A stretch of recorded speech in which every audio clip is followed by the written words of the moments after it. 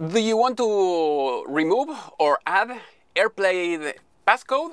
I'm going to show you how to. So let's connect to my Apple TV. So all you have to do is you push the menu button and then you have to move the menu as you can see and then you go here and then you go where it says AirPlay click there and then you go where it says security and then you can click where it says known or uh, you can uh, click where it says on-screen code.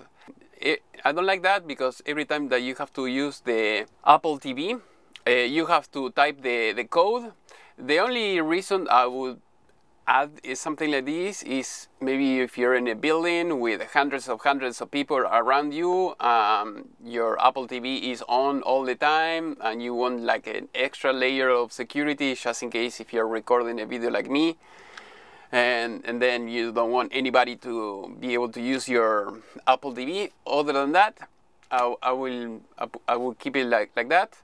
Or um, if it's uh, possible uh, just to disable the Wi-Fi and make it run only with the Ethernet core and that's it. So that will be my my option. It, yeah, that will be my suggestion. So it depends on what version of Apple TV you have. That is how it's done. Hopefully this video was useful. If you have any question, please let me know in the section below and see you next time.